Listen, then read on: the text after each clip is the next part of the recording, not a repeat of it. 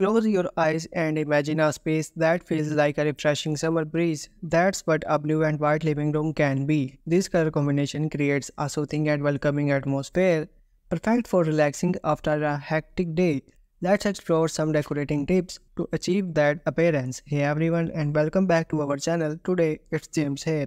Feature walls or gallery walls. First up, consider a statement wall. This could be a whole wall painted in a gorgeous blue shade or you could create a gallery wall with artwork and photos that feature your favorite blues and whites. A gallery wall is a fantastic way to showcase your personality and add a touch of whimsy. Throw pillow power. Throw pillows are your living room's best friend and in a blue and white scheme they really shine. Don't be afraid to mix and match patterns, stripes, floral and geometric shapes. The options are endless.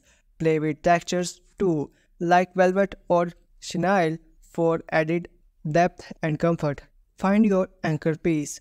Every room needs a focal point and in your blue and white heaven it could be anything from a stunning blue rug to a stylish armchair. This piece sets the tone for the space so choose something you love that complements the overall feeling you are going for. Warm it up with texture.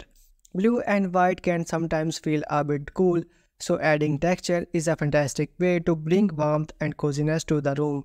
Think chunky throws in neutral tones, woven baskets or even a sheepskin rug. Natural materials like wood and plants are also amazing for creating a more inviting atmosphere. Coordinate and contrast balance is key in any design and that's true with blue and white too. Coordinate your blues and whites by using different shades of the same color. For example, a navy sofa with lighter blue accents, then add a pop of contrast with a bold throw pillow or artwork in a different color like yellow or green. Experiment and see what works best for you. So there you have it, a few simple ideas to get you started on creating your dream blue and white living room. Hit that subscribe button for more decorating tips and tricks.